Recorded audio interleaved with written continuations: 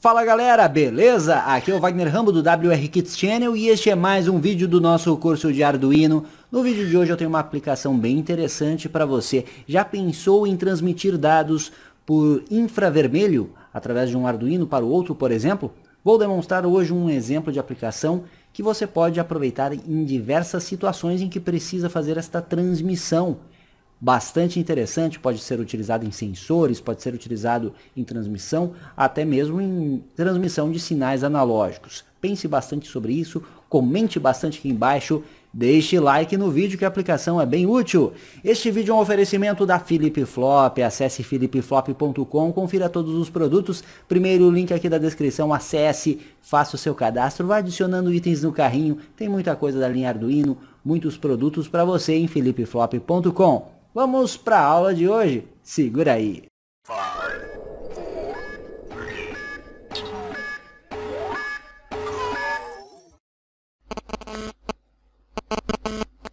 Hoje eu desenhei o hardware no papel mesmo, galera. Olha só que interessante a aplicação que vamos mostrar para você. Eu tenho um Arduino, vou utilizar o Arduino Uno, que é o meu transmissor.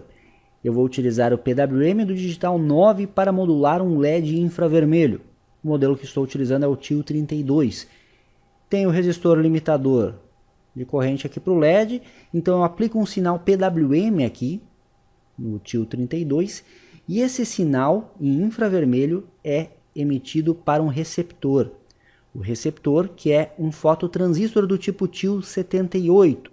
Está ligado com o seu coletor em mais 5 volts, emissor vai para o digital 8 do Arduino, que é o receptor que estamos utilizando ele tem um pull down de 10K aqui que vai para o GND. Observe que o transmissor é independente do receptor, ou seja, esse GND não está ligado neste aqui.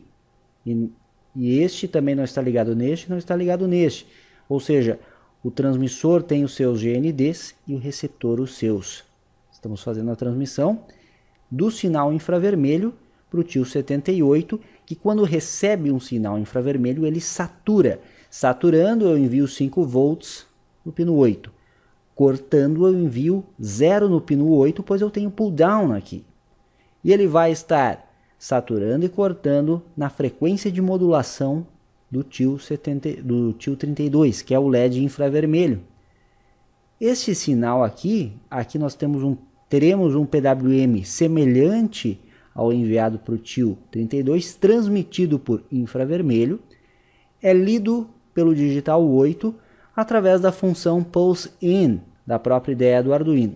E a partir da largura do pulso, vamos interpretar o dado enviado. Para testar isso, eu vou utilizar um potenciômetro na entrada analógica 10K linear. Então, sabemos que o conversor AD é de 10 bits, teremos uma variação de 0 a 1023 de acordo com a largura do pulso, vamos mostrar no serial monitor o que o Arduino RX recebe. Vai ser um número próximo aí a de 0 a 1023, conforme eu vario o potenciômetro.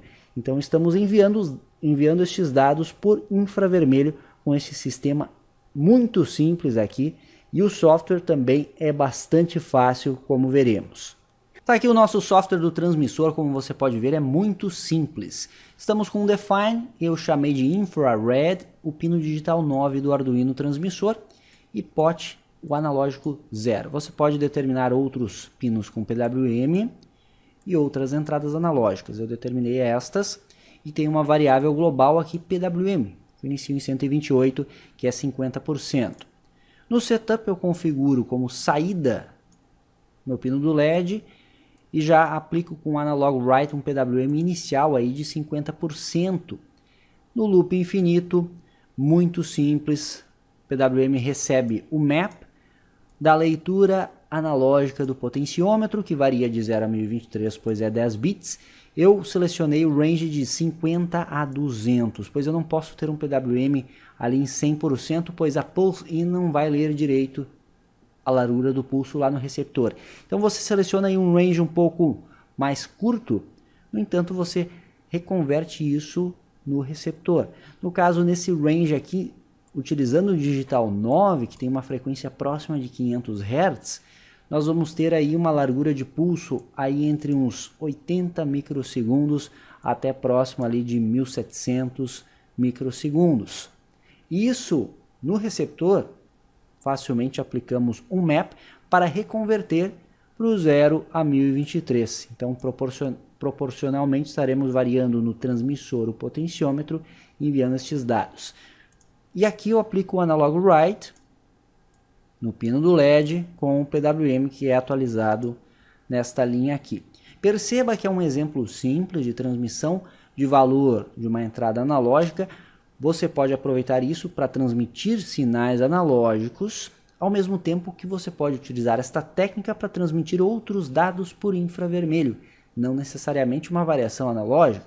Pode transmitir estado de sensores digitais ou valores de variáveis, enfim, a imaginação é o limite, como sempre mencionamos. Já comente aqui embaixo aplicações para este sistema. O receptor também tem um software simples. Eu defini que o 8 vai ser o pino de pulso, então chamei de pulse.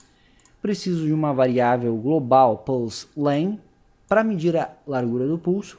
Eu iniciei em zero no setup eu inicio a comunicação serial, 9600 bits por segundo, configuro o pulse como entrada e no loop infinito utilizo a função pulse in. Eu leio o tempo em que pulse está em nível lógico alto e salvo em pulse lane. E aí eu faço um map pulse lane que varia de 500 a 1750, que é a largura mínima e máxima do pulso que eu determinei então 500 microsegundos a 1750, ele passa a variar de 0 a 1023. Então, proporcionalmente. Veja que essas proporções você pode realizar ajustes fazendo os testes pertinentes aí no seu laboratório. E aí eu imprimo na serial o valor de pulse length. Vamos conferir isto funcionando e também vamos conferir as formas de onda. É bem interessante ver isto, pois vemos que o PWM enviado por infravermelho é recebido ali de fato no fototransistor e vamos ver o sinal na tela do osciloscópio também. Lembrando que tem curso de Arduino para iniciantes, galera, vale a pena fazer, link na descrição. Também outros cursos exclusivos WR Kits Hotmart. Segura aí!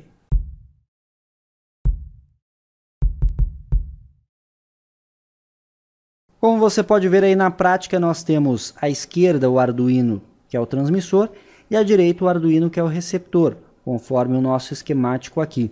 Aqui está o LED infravermelho e aqui está o fototransistor. Você pode aumentar a distância entre os dois sistemas, também funciona de forma satisfatória. E aqui eu estou alimentando com a USB, pois teremos que ver o serial monitor do Arduino receptor, então já estou aproveitando a alimentação da própria USB e o transmissor com 5 volts da fonte de bancada. Vamos analisar os sinais agora na tela do osciloscópio. Você vê aí, galera, no canal 1 nós temos o sinal que é enviado para o nosso TX, nosso LED infravermelho, e aqui o sinal no emissor do fototransistor. Veja que é uma cópia, basicamente. Existe, é claro, o tempo de chaveamento do fototransistor, mas internamente o AVR tem circuitos Schmitt Trigger, que dão uma restaurada neste sinal aí, deixando ele mais quadrado. Eu, movimentando o potenciômetro, atuo no Dutch Cycle do PWM que vai para o LED infravermelho e o fototransistor responde. Se eu afasto um pouco ou movimento para um lado e para o outro a protoboard aqui, desviando um pouco o feixe, nós vemos que o sinal é prejudicado. Então o emissor deve estar apontado diretamente para o receptor para funcionar certinho. Abri agora o monitor serial do Arduino e você vê aí os números 390, 200, e aí chegamos até próximo de 20 com o mínimo de PWM e isso pode ser ajustado facilmente naquelas funções map. Aumentando agora, você vê o aumento do Dutch Cycle e o aumento do número ali chegamos próximo de mil, isso também pode ser ajustado facilmente. Então temos uma variação muito próxima aí de 0 a 1023, conforme desejado. ou seja, estamos transmitindo estes dados de forma satisfatória. Veja agora o monitor serial junto com o potenciômetro. O potenciômetro no mínimo nós temos aí próximo de 20. Eu vou aumentando, ele segue o aumento de forma proporcional até chegar quase ao máximo. Chegando ao máximo aí nós temos valor próximo de 1000. Chegando na metade do curso do potenciômetro, nós temos um valor próximo a 512, como você vê aí, que é a metade de conversão AD, ou seja, está totalmente coerente. E outro ponto interessante que podemos demonstrar na prática aqui é interrompendo o feixe, ó, nós temos valores errados no monitor serial. Liberando, ele volta a operar certinho. Interrompendo, valores errados, liberando o feixe, ele volta a funcionar certinho que novamente comprova que estamos transmitindo. E essa foi mais uma aplicação no curso de Arduino, galera. Comentem bastante aí embaixo, deixem dicas para utilizar este sistema e o que mais podemos transmitir com este sistema simples de transmissão de dados por infravermelho. Esse foi mais um vídeo do curso de Arduino. Gostou da aplicação? Esse vale o like, né? Clique em gostei agora para não esquecer. Inscreva-se no canal se é novo por aqui compartilhe com o seu amigo que quer aprender Arduino. Lembrando do nosso curso de Arduino para iniciantes, link na descrição. Tem certificado de conclusão bem bacana para quem quer entrar de vez nesse universo do Arduino. Isso é engenharia, o uso intencional da ciência. Aqui temos mais de 2.500 vídeos no YouTube. Confira tudo, marque o sininho para não perder as novidades também. Me siga no Instagram, no Twitter e a fanpage WR Kids no Facebook. Aquele abraço e até a próxima.